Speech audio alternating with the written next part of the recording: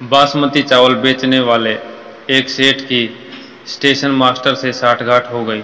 सेठ को आधी कीमत पर बासमती चावल मिलने लगा। सेठ ने सोचा कि इतना पाप हो रहा है तो कुछ धर्म कर्म भी करना चाहिए। एक दिन उसने बासमती चावल की खीर बनवाई और किसी साधु बाबा को आमंत्रित कर भोजन प्रसाद लेने के लिए प्रार्थना की। साधु बाबा ने बासमती चावल की खीर खाई।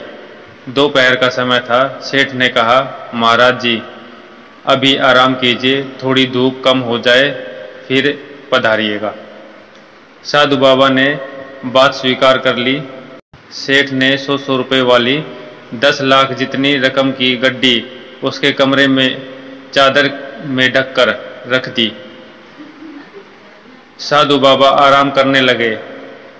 खीर थोड़ी हजम हुई। साधु बाबा के मन में हुआ कि इतनी सारी गड्डी पड़ी है। एक दो उठा कर झोले में रख लूँ तो किसको पता चलेगा? साधु बाबा ने एक गड्डी उठाकर रख ली। शाम हुई तो सेठ को आशीर्वाद देकर चल पड़े। सेठ दूसरे दिन रुपए गिनने बैठा तो एक गड्डी दस हज़ार रुपये की कम मिली। सेठ ने सोचा कि महात्मा तो भागवत पुरुष थे, वो क्यों लेंगे? नौकरों की धुलाई पिटाई चालू हो गई। ऐसा करते करते दोपहर हो गई। इतने में साधु बाबा आ पहुँचे तथा अपने झोले से गड्डी निकालकर सेठ को देते हुए बोले, नौकरों को मत पीटना, गड्डी में ले गया था। सेठ ने कहा, महाराज, आप क्यों लेंगे? जब यहाँ नौकरों से पूछताछ हुई, तब कोई भय के मारे आपको दे गया होगा और आप नौकर को बचाने के उद्देश्य से ही वापस करने आए हैं, क्योंकि साधु तो दयालु होते हैं। साधु, यह दयालुता नहीं है। मैं सचमुच तुम्हारी गड्डी चुरा कर ले गया था। साधु ने सेठ से कहा, तुम सच बताओ कि तुम कल खीर किसकी और किस लिए बनाई थी?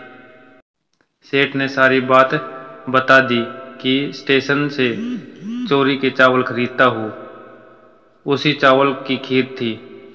साधु बाबा, चोरी के चावल की खीर थी, इसलिए उसने मेरे मन में भी चोरी का भाव उत्पन्न कर दिया।